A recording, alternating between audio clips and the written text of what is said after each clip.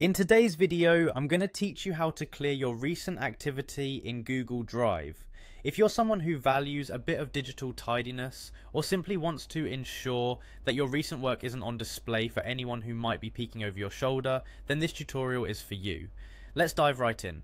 First things first, you need to open your favorite web browser and navigate to Google Drive's homepage. If you're not already signed in, you'll need to log in with your Google account to access all of your files.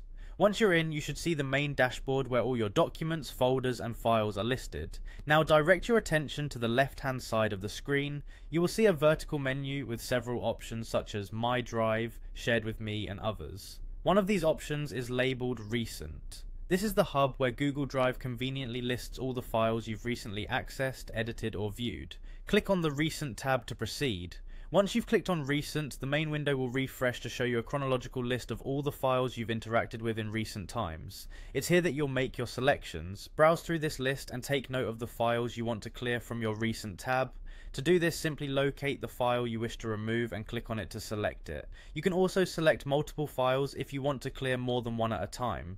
Hold down the control key on your keyboard if you're using a PC, or the command key if you're on a Mac to select multiple files. With your desired file or files selected, it's time to remove them from the recent list. Look towards the top of your screen where you see various menu options appear once you have a file selected. Among these icons, you'll notice one that resembles a trash can. This is your delete button. Go ahead and click on the delete icon.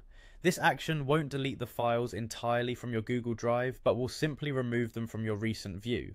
Your files will still be safe in their original locations within your drive. And that's all there is to it. You've successfully cleared your recent activity in Google Drive. It's a simple process, but it can make a world of difference in keeping your drive organized and minimizing any clutter.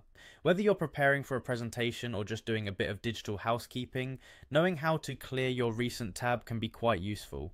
Remember, keeping your workspace clean, even virtually, can lead to increased productivity and peace of mind. Thanks for watching, and see you in the next tutorial.